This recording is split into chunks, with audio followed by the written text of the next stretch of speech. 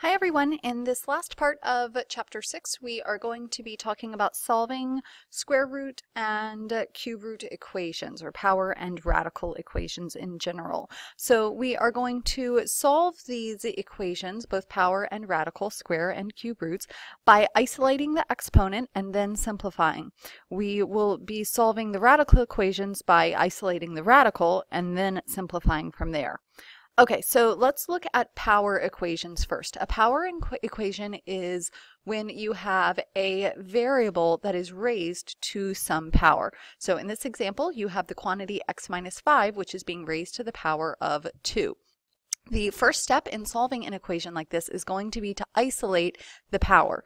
That means that we need to get rid of anything that is outside of this quantity that's being squared. The only thing outside on the left-hand side of our equation here is this 3, so I'm going to divide both sides by 3 to get rid or divide out that 3. That leaves me with x minus 5 quantity squared is equal to negative 9. Then from there, I'm going to take a root, depending on what this power is. So because this is a square, I'm going to take a square root of both sides because a square root of a square leaves you with whatever the base is or the radicand. So that x minus 5 is all that's left on the left and then I need to simplify this radical over on the right. Now remember when you use the square root method to, or any square root to solve an equation, you have to write plus or minus the square root of whatever that radical is going to be. So simplifying from here, we do need to simplify the square root of negative 9. So I'm going to say x minus 5 is equal to plus or minus. The square root of negative 9 is 3i because square root of 9 is 3 and the square root of negative 1 is i. So I've got plus or minus 3i on my right, and then I'm going to add 5 to both sides. Remember that 5 and 3i are not like terms, so I can't combine them. So I'm going to write 5 plus or minus 3i. And that is my answer. However, I do need to check my solutions here because sometimes answers are going to be extraneous and we have to remove them. So we're going to take this 5 plus 3i and then we're going to take 5 minus 3i and plug this in, them into the equation to see uh, if they get equal negative 27. So to do our first check here, we're going to take the left-hand side of the equation, and where that x is, I'm going to put 5 plus 3i. Then I've got that minus 5, and then that's squared.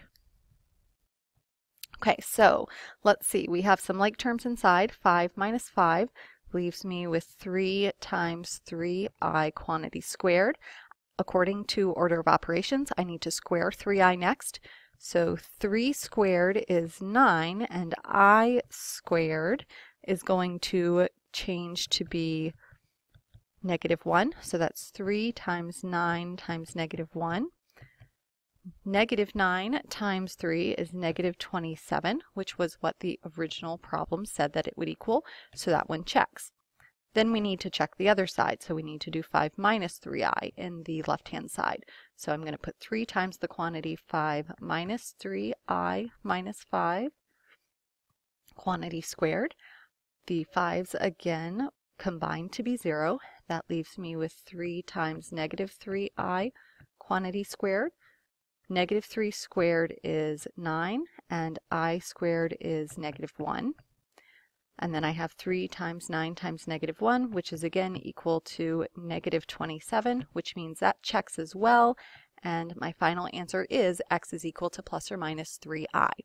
So again, the steps here for this one, first you need to isolate the power. So if there are any numbers being added or multiplied or divided or subtracted on the outside of the quantity that is being raised to the power, get rid of those, move them over to the right using whichever means necessary. Then you take the root that matches the power. So I take a square root here because this was a square. If this was a cube, I would have taken a cube root of both sides. And then from there you solve for x and check to make sure nothing is extraneous. Okay, so let's switch uh, gears and do some practice now. For this first one, I have the quantity x plus 1 raised to the fifth power. I don't have anything that I need to get rid of on the left-hand side because it's just the quantity raised to the fifth power. So I can go ahead and take my root. Because this is a fifth power, I'm going to take a fifth root of both sides. When I take the fifth root of the quantity raised to the fifth power, it leaves me with just x plus 1. And on the right, I need to simplify the fifth root of 100 if I can. Now the fifth root of 100, 100 is 10 times 10, which is 2 squared times 5 squared. Um, so there's nothing that's going to come out in a set of 5. So there's nothing that will simplify there. So I'm ready to just subtract 1 from both sides to solve for x. So I've got negative 1 plus the fifth root of 100. Now to check this, I'm going to take that answer and plug it back into the original problem on the left-hand side in this one. So I have the quantity, negative 1 plus the fifth root of 100 plus 1, that's from the original problem here, and that's all raised to the fifth power. Negative 1 plus 1, those are equal to 0, which leaves me with the fifth root of 100 to the fifth power, and the fifth root raised to the fifth power leaves me with just the radicand. So that is equal to 100. And that's what the problem told me that it was going to equal to, so that checks. That means that this is my answer, no extraneous solutions. Let's look at another one. In this one, we have a third power, but there is this 2 being multiplied out on the front, so we need to isolate first. We're going to divide both sides by 2 to get x minus 9 quantity cubed is equal to 125. And then because we have a third power, we're going to take a cube root or third root to get rid of that power. The cube root of a cube leaves us just with x minus 9, the base. And the cube root of 125, that's the same thing as the cube root of 5 to the third power. Remember, 125 is equal to 5 cubed. So then I have x minus 9 is equal to 5. And when I add 9 to both sides, I get 9 plus 5 is 14. Now I do need to check this answer again, so I'm going to plug it back into my original equation. So I've got 2 times 14 minus 9 quantity cubed. So let's see, 14 minus 9 is 5. Using the order of operations, I'm going to raise 5 to the third power next. So that's 2 times 125. And 2 times 125 is 250. That is what the original problem said that I should get. So this is my solution. Okay, let's change over now to doing radical equations rather than doing power equations. Radical, radical equations are going to involve a variable that's in the radicand or inside of the radical. Our process is going to be relatively similar to the process that we just used a moment ago. You'll notice in this example you have a radical with a x value inside and there's this plus 9 that is outside of the radical. Our first step with these problems too is going to be to isolate the radical. So I'm going to subtract 9 from both sides to get just the radical on the left hand side. 16 minus 9 is 7. And so now I need to get rid of the square root. I get rid of that by raising each side to the same power that will eliminate the radical. So because this is a square root, I'm going to square both sides of the equation. When I square a square root, it leaves me with the radicand, 6x plus 1.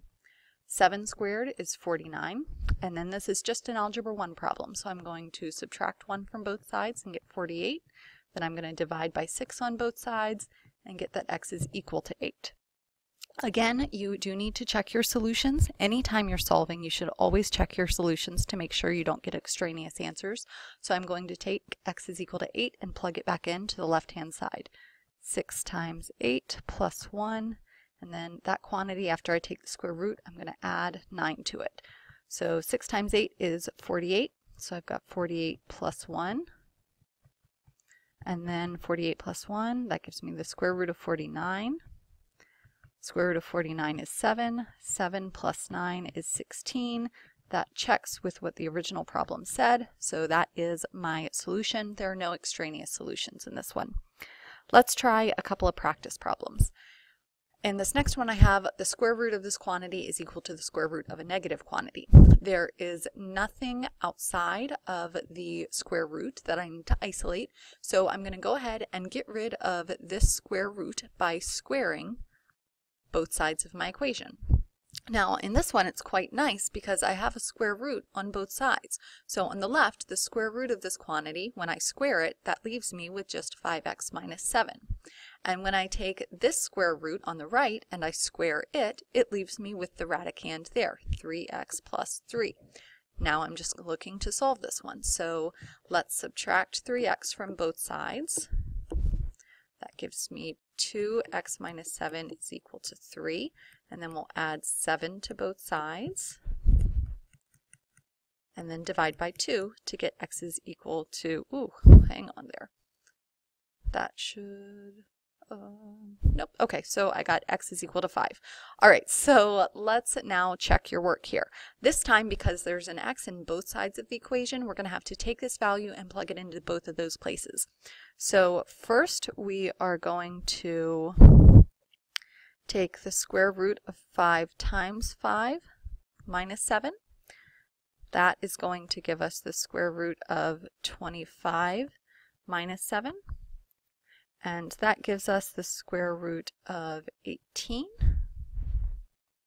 I'm going to let that guy sit over there. Let's go ahead and jump over to the other side and do the square root of 3 times 5 plus 3. 3 times 5 is 15. 15 plus 3 is 18.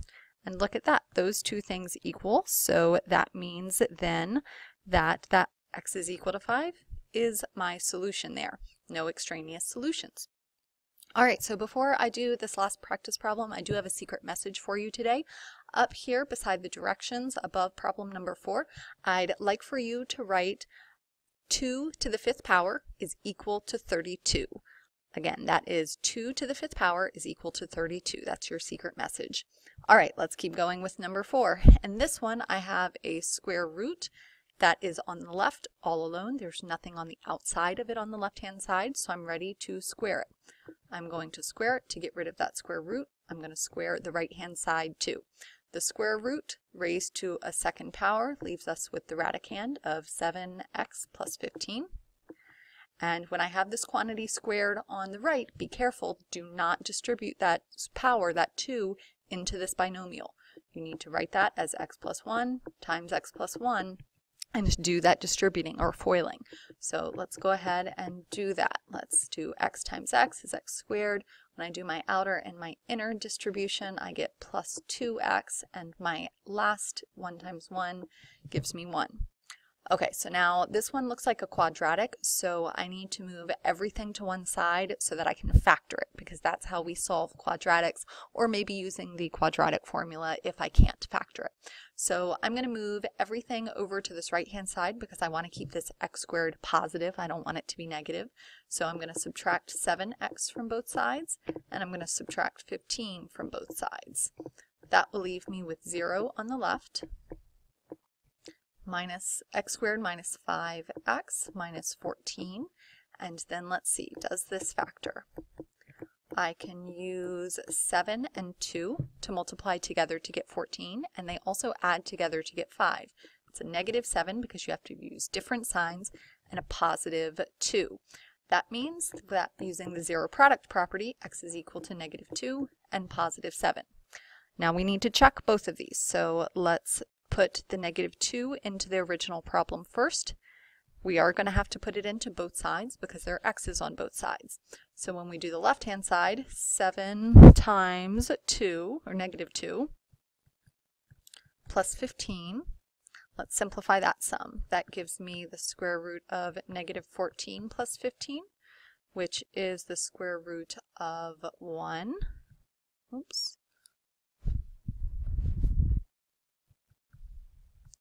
Which is just equal to 1.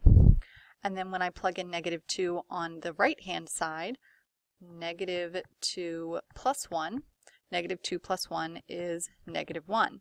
These two things do not equal. That means that this is an extraneous solution. x is not equal to negative 2. Let's try the 7 and see if that one is extraneous as well. Plugging it into the left first, I have 7 times 7 plus 15. 7 times 7 is 49. Oops, 49 plus 15 is equal to 64. And the square root of 64 is 8. Now let's plug in that 7 on the right hand side and see what we get there. 8 plus 1 oh, sorry, not 8. Hmm. uh, we're plugging in the 7. 7 plus 1 on the right-hand side is equal to 8. These two checks checked out. They are equal, so that means that x is equal to 7. And our final answer is just that x is equal to 7. All right, so I'd like for you to try the Now You Tries. You should be able to solve square and cube roots and all power root uh, and root equations by isolating first and then simplifying after that. Go ahead and give them a try.